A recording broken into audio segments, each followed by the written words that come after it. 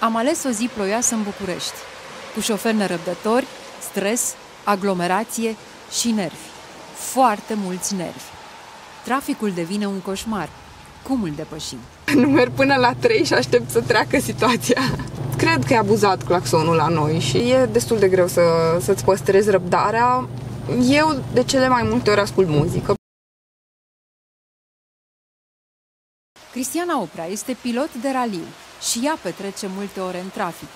Ne-am luat permisul la 18 ani, dar nu din prima, pentru că am picat sala, eram foarte încrezătoare pe cunoștințele mele și am trezit picând chiar de ziua mea. Te-ai întâlnit deseori cu șmecheri la volan, în Da, trafic? da, m-am întâlnit și la volan și pe, chiar și în social media am mai primit întrebări.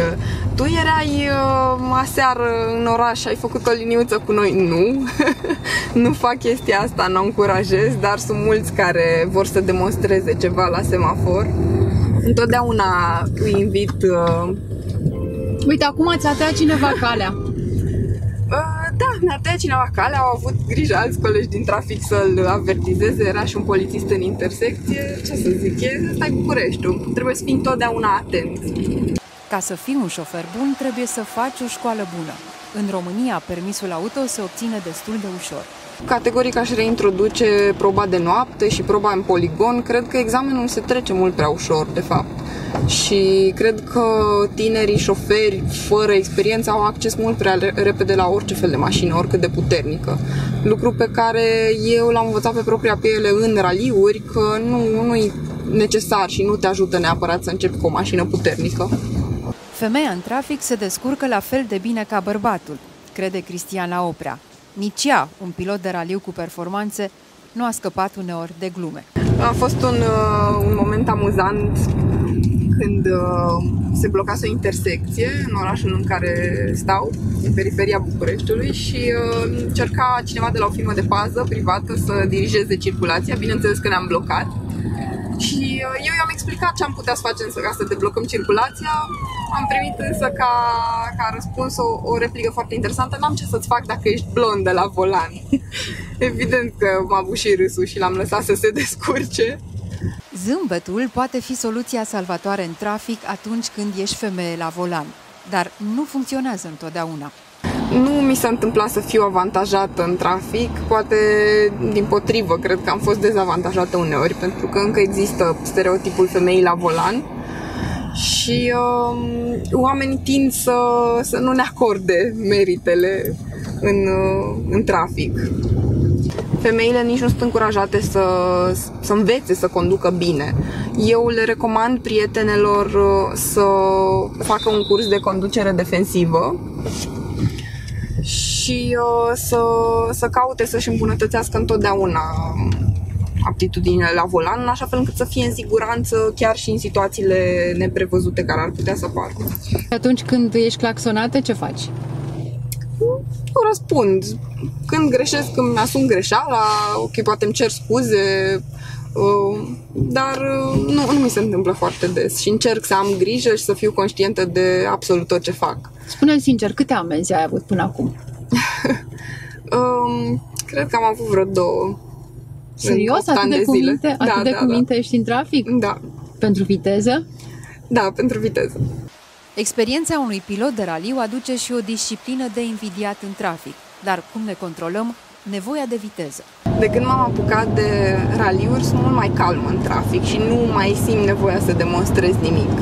Nu mă mai pasionează să merg foarte tare, să mă iau la întrecere cu cineva.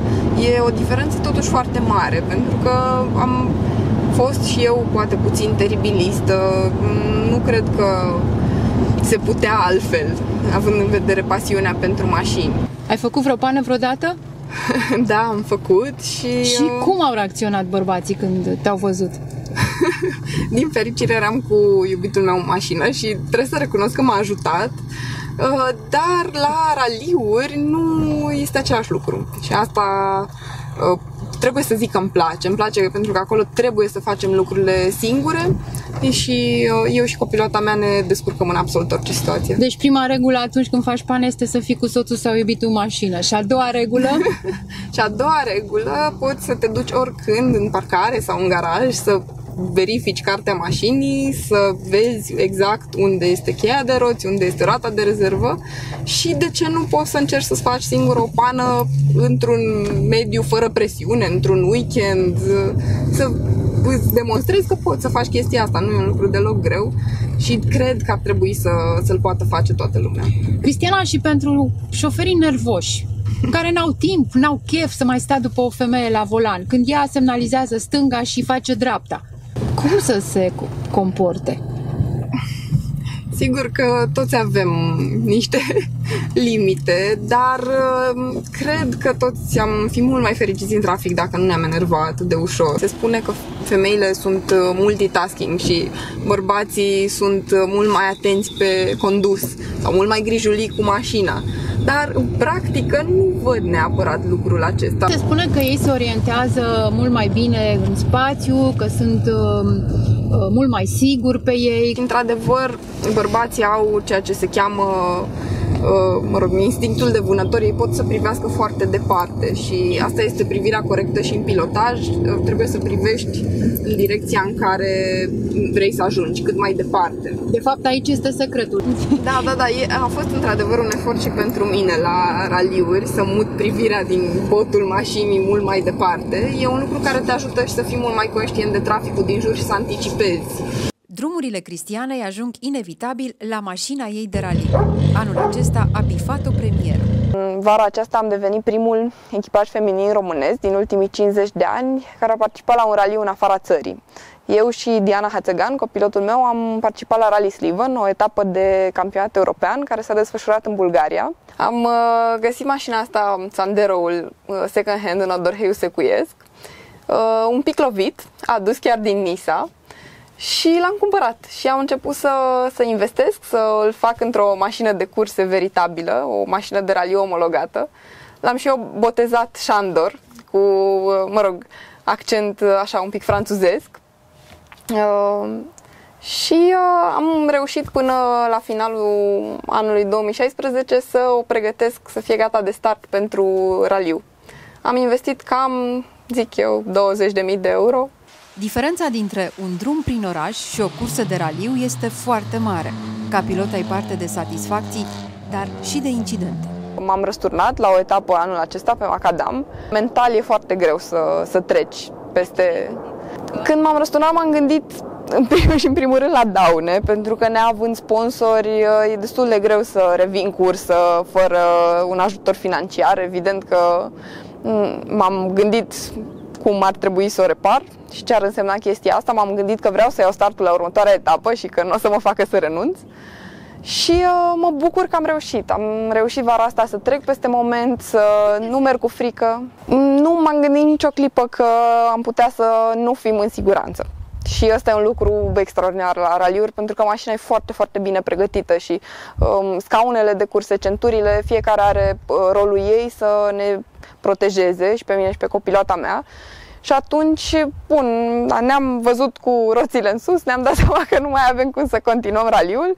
Um, ne-am grăbit să ieșim din mașină și să îi avertizăm pe ceilalți concurenți care veneau din spate că mașina e răsturnată pe drum și ar trebui să ne ocolească. Chiar dacă un incident din raliu nu se compară cu un accident de circulație, Cristiana Oprea are o recomandare pentru cei care au trecut din nefericire prin această traumă. Cred că este foarte important ca cei care au trecut printr-un accident, fie șoferi, fie pasageri, să revină cât mai repede în mașină și să-și înfrunte teama. Raliul nu este un sport profitabil, însă atunci când este vorba despre pasiune, banii nu mai sunt atât de importanți. Uh, mi-ar plăcea totuși să ajung la un moment dat să, să spun că nu ies pe minus. În absența unor sponsori în campionatul național de raliuri, um, tot ce am lucrat, am investit înapoi în curse și uh, cumva sper să ajung să-mi, să scot cheltuiala asta. Cred că e vorba de 30 și ceva de mii de euro în 2 ani și ceva, 2 ani și jumătate.